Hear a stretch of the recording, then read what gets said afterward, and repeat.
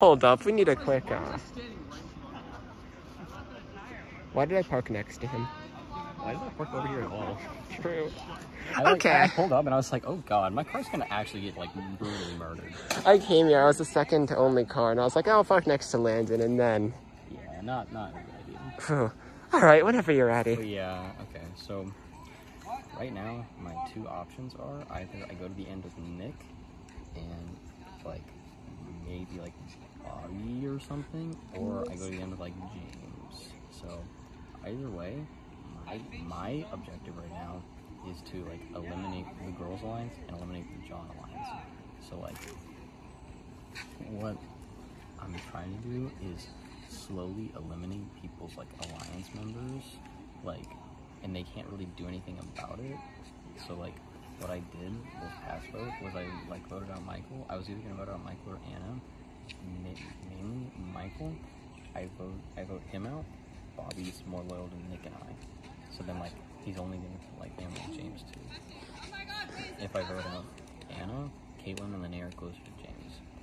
So like and then also I get rid of one of the girls, meaning James can't really flip on me because I'll have more numbers than him.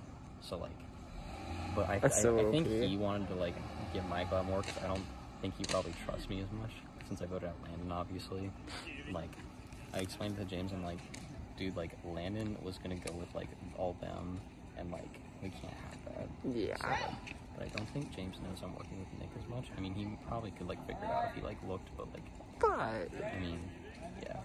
Nick and I are alliancing, and it's just really funny. No, that's so We're good. like, yeah, we've been enemies for a while. Let's just like work together and just like absolutely.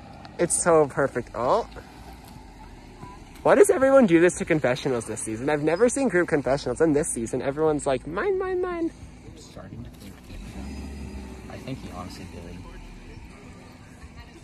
He was a little sus there, but Yeah. He was talking about wanting to vote out Pepe, just so like Campbell was closer to him, and we can work with like that alliance. But I really do think Nick has like an, like an idol or an advantage over. No, he definitely has an Like I think he, I think he has something. And He like told the me he has an the fact that he hasn't told me is a little scary. No, he's definitely. He told you that he hasn't made it? Like, he just didn't bring it to me? That's sketchy.